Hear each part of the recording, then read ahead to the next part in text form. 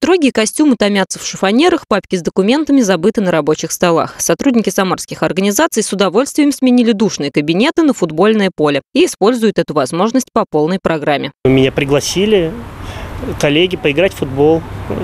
Я решил, думаю, ну, надо весело провести выходной и сыграть с коллегами. В детстве я играл в футбол, очень давно, конечно, уже все подзабылось. Но поиграли душевно, весело, нормально. Кубок трудовых объединений, турнир среди футбольных команд разных самарских организаций, впервые проходит в столице региона. За звание сильнейших состязаются 20 команд. Среди них и футболисты-любители телеканала «Самара ГИС». Спортивный обозреватель Сергей Кизоркин может не только красиво рассказывать о спорте, но и активно им занимается. И на работе, признается, всегда мечтал собрать команду. Ведь командный дух со спортплощадки всегда перемещается в рабочую сферу. Формированием команды я занимался, наверное, ну, последний год точно бегал по офису, уговаривал и девушек, и парней, давайте создадим спортивный коллектив, неважно по какому виду спорта.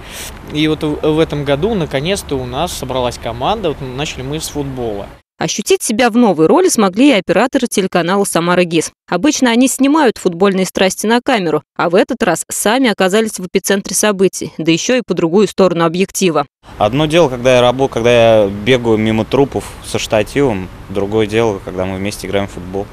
А что я люблю футбол, но это мужская игра. Мужская игра в команде, которая сплачивает коллектив. Встряска офисных сотрудников в Самаре прошла на ура. Все, кто засиделся на рабочем месте, отправляются на спортплощадку за бодростью духа и отличным настроением. Марина Матвеевна, Константин Головин. События.